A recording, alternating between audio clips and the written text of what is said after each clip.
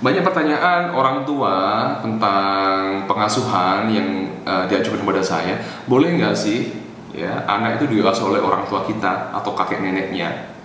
Saya akan bahas ini lebih dalam. Ada tiga bahasan kita. Kenapa uh, kita harus mempertimbangkan lagi untuk mengasuhkan anak kita kepada orang tua kita. Tapi sebelum kita bahas, tolong di subscribe dulu video ini, di like, di komen, atau di share di media sosial Anda supaya banyak orang tua lain yang mendapatkan manfaatnya. Oke, kita mulai. Ada tiga uh, poin di sini kenapa kita harus mempertimbangkan lagi uh, untuk memberikan anak kita kepada orang tua kita untuk diasuh. Yang pertama adalah mereka sudah tua, mereka sudah berumur, ya. Jadi orang tua kita itu sudah uh, usia mereka tidak seperti dulu lagi yang masih muda, yang kuat tenaganya, yang kuat pikirannya, mereka sudah uh, berbeda dari dulu sehingga kasihan kalau mereka harus merawat anak kita. Kalau kita aja merawat anak kita capek fisik maupun psikis ya, maka kita nggak bisa bayangin kalau orang tua kita yang merawat bagaimana? Ya pasti akan kasihan sekali. Dan untuk menjaga anak itu tidak mudah. Perlu kesigapan baik itu fisik maupun pikiran perlu kesigapan. Kalau uh, itu sangat berat sekali bagi orang tua kita, ya tentu akan akan membuat mereka akan terkuras kan. Ya, jadi kasihan. Orang tua kita sudah tua. Yang kedua adalah orang tua itu cenderung memanjakan. Orang tua kita maksudnya cenderung memanjakan cucunya. Kenapa? Saya nggak tahu kenapa, tapi yang jelas kebanyakan orang tua kita itu memanjakan cucunya. Mereka bilang, kalau sama aku nanti diasuhnya dengan baik kok. Kalau sama aku, aku ngasuhnya ngasuhnya benar nggak kok ngasuhnya benar kok? Nggak seperti istrimu misalkan. Nggak seperti kamu ngasuhnya coba bawaan ke rumahku nanti akan diasuh dengan benar misalkan. Iya mungkin itu pikiran mereka. Tapi banyak kan cenderungnya adalah memanjakan anak kita. Memanjakan cucunya. Anak nangis itu rutin anak uh, udah minta begitu uh, apa yang dia minta orang tua kita kasihan. Dan akhirnya diturutin. Akhirnya apa kalau cenderung memanjakan anak kita? Tidak terbentuk dengan baik perilakunya dong ya kan? Jadi uh, orang tua di mana pun itu orang tua kita di mana pun itu ya mereka memanjakan cucunya. Orang tua yang lain juga sama seperti itu. Kakek nenek yang lain juga sama seperti itu. Cenderung memanjakan cucunya ya daripada mengasuh kita dulu. Yang ketiga adalah dia itu anak anda bukan anak orang tua anda ya. Jadi kalau anda ber, berkeinginan atau mempunyai harapan anak Anda bisa menjadi lebih baik ke depan, Anda ingin dia pinter sekolahnya, Anda ingin dia sikap perilakunya baik, eh, sesuai dengan apa yang Anda inginkan, maka itu adalah tanggung jawab Anda, bukan tanggung jawab orang tua Anda.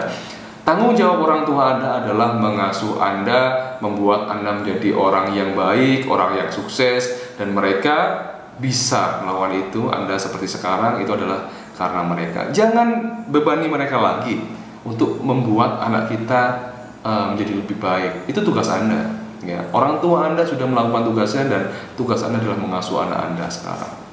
Jangan bebani itu. Dan kalau mereka Anda mendapati mereka sudah besar nanti uh, dan mereka me, me, memiliki perilaku-perilaku yang tidak sesuai dengan harapan Anda, jangan menyalahkan orang tua Anda karena itu adalah anak Anda kalau itu diasuhkan kepada orang tua Anda. Ya, jangan menyalahkan uh, mereka karena itu adalah anak anda ya. Dan anak itu seperti semen yang masih basah. Semen yang masih basah yang bisa anda bentuk dengan dengan dengan apa pun bentuknya.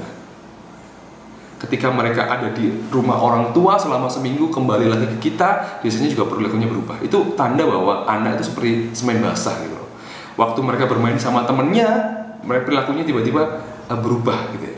Tiba-tiba mereka mengcopy, memodel teman-temannya. Ya, ketika mereka liburan uh, satu bulan misalkan di rumah, sekolah juga sudah berubah.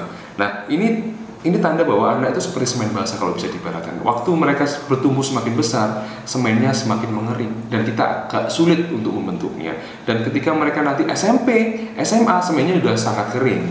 Waktu kita membentuknya akan lebih susah lagi, sangat-sangat sulit. Waktu mereka dewasa, maka semennya sudah mengering.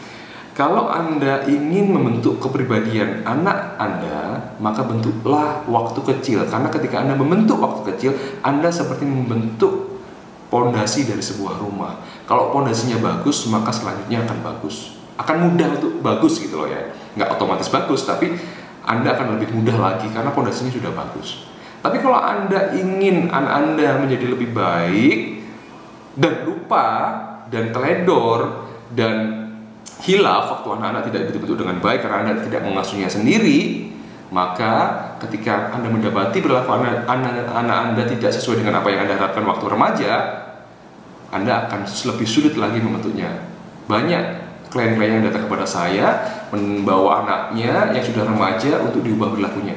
Masya Allah, sangat luar biasa sulitnya ya sangat luar biasa sulitnya karena mereka sudah solid perilakunya ya sudah terbentuk seperti itu sangat sulit sekali jadi ketika anak anda masih anak-anak itu ada kesempatan anda untuk membangun pondasinya mereka masih seperti semen basah bentuk dengan baik di situ dan ingat bahwa dia anak anda jangan diberikan kepada orang lain untuk dihasut anda yang harus bertanggung jawab. Meskipun Anda sibuk, saya nggak tahu cara cara Anda untuk membaginya. Saya tidak tahu, tapi yang jelas ini adalah anak Anda.